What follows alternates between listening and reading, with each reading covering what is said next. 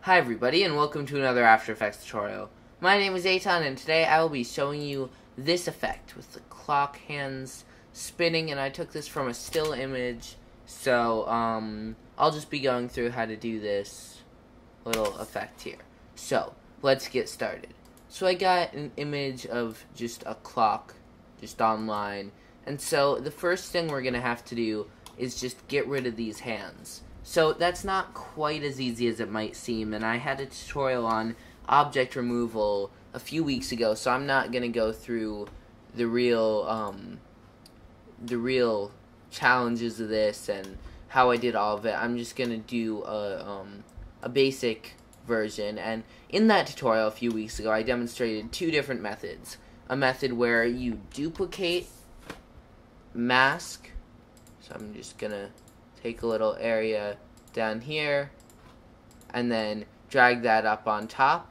And then you can also use the clone stamp tool.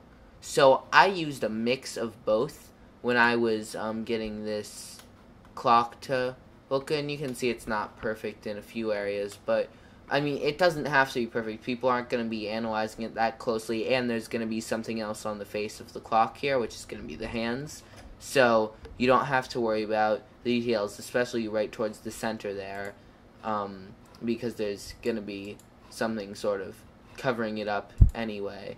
So what I did is I just duplicated a bunch of these, brought them around, and then when we got pretty close to like the corners here, this is where I went in, opened up the clone stamp tool, double clicked on this bottom layer, and then I alt clicked somewhere where it's just white and then sort of just drew on top.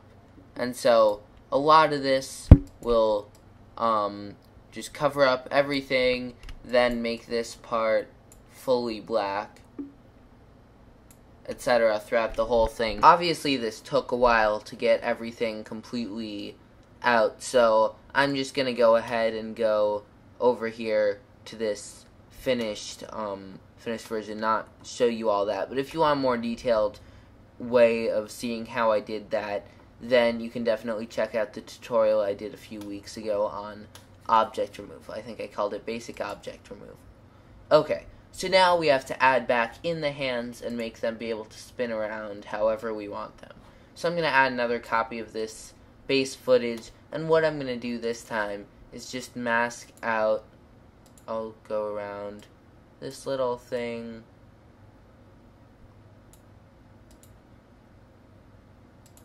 Just mask out this hand of the clock.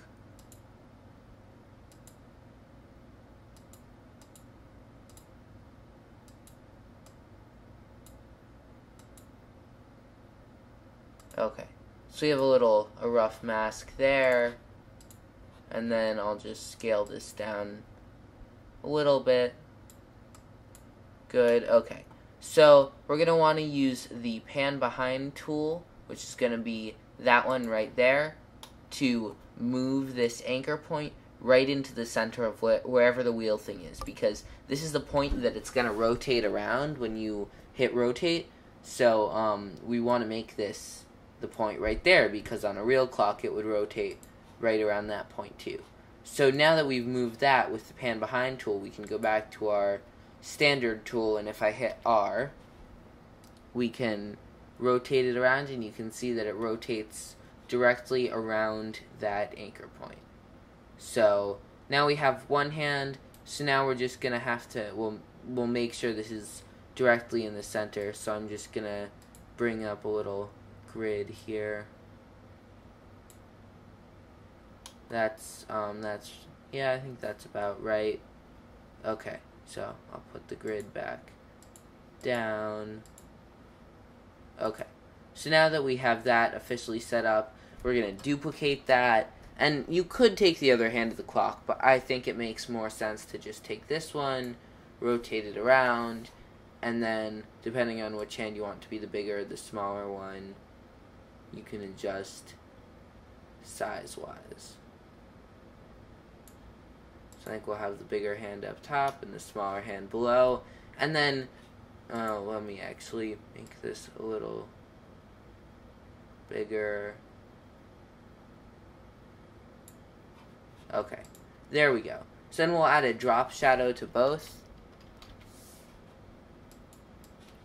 I'm just going to drag this on both different ones. I don't mind this preset. It's actually a nice little um, thing. I might soften it a little though. That'll just help make it feel a little bit more natural. Okay, so now what we can do is just if we want this to sort of spin around, we can keyframe the rotation.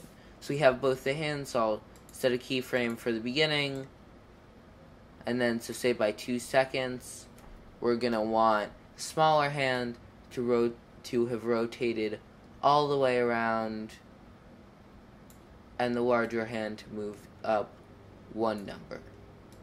So now we can see that our clock spins around just like a real clock. So I'm going to end the composition right there. And then I'm going to add some motion blur.